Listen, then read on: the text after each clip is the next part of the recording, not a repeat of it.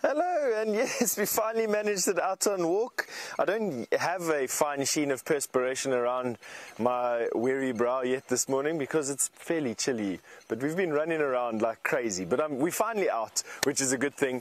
And this is exactly what I've been waiting for for the last couple of months. I've really, really missed the bushwalk. And uh, our plan is just to head off into the wild blue yonder and see what we can see. I know Ali's got some lions that she's been showing you. There's been some lions roaring around this morning. We've taken a bit of a, a, a, a tour up to the Gari mast. There were some tracks on the floor there. It looked like a hyena. Could have been wild dog. There's been some wild dog around. So who knows what we're going to be finding. This is the dry season here in the Sabi Sands. And of course, the best thing about the dry season in the Sabi Sands is the Sand River, which lies not too far away, right over there. And that is a massive draw card for a bunch of elephants. At the last winter census that they did, there was over 800 elephant in this area during the dry season. And that is exactly what we're in at the moment.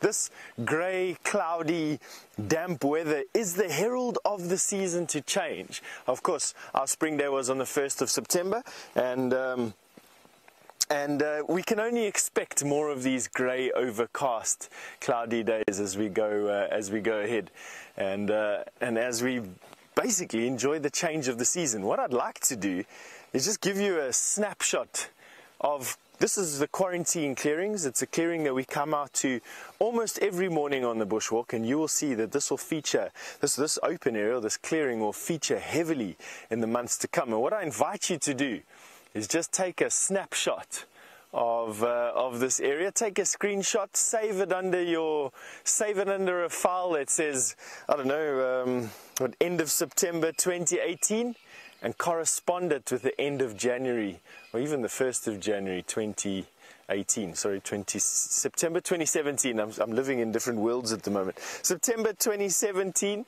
versus January 2018. And you'll notice that where we're walking right now will be an absolute field of green to the point where we'd have to actually be lifting up our legs to walk across this open area. To walk uh, unobstructed like this is going to be a difficult thing.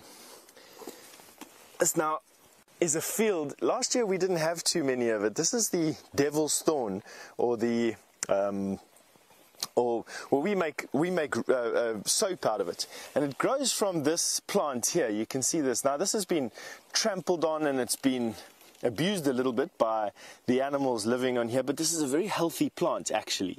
You can see it here, one of the healthiest that are around, and they give they give rise to this thorn here, the devil's thorn named because of those two horns that you can see. There we go.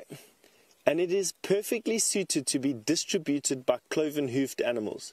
The thorn itself sticks not too deep into the hoof of an animal, it's a very robust thorn. And then that scalloped rounded seed pod that you can see there is so that it doesn't snag on anything. And that's how the seed disperses itself to a new area. Gets stuck to an animal's hoof or to the pad, of an elephant's pad, and basically the animal battles to brush it off because of this shape.